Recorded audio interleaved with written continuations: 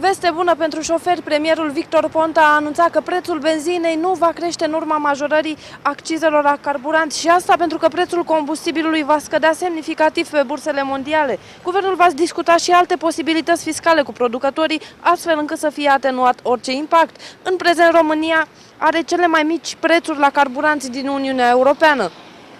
Premierul Victor Ponta afirmă că prețul benzinei va rămâne la același nivel în ciuda creșterii accizei pe combustibil propuse în proiectul legii bugetului pe 2014. Șeful executivului se bazează pe previziunile privind scăderea prețului pe piețele internaționale, motiv pentru care creșterea accizei pur și simplu nu ar avea impact asupra cetățeanului. Precizările au fost făcute de Victor Ponta ca urmare a declarațiilor ministrului de finanțe Daniel Chițoiu, care susține că noua taxare ar genera o creștere a prețurilor de circa 7-8%. Daniel Chițui a mai afirmat că dacă petroliștii vor transfera integral costurile către consumator, accize și taxa de infrastructură, procentele ar fi mai mari de 14-18% și că în acest moment taxele au depășit jumătate din prețul benzinei, țițeiul ar trebui să se ieftinească serios ca să compenseze cam 25-30%, ceea ce înseamnă în jur de 80-85 de dolari pe baril.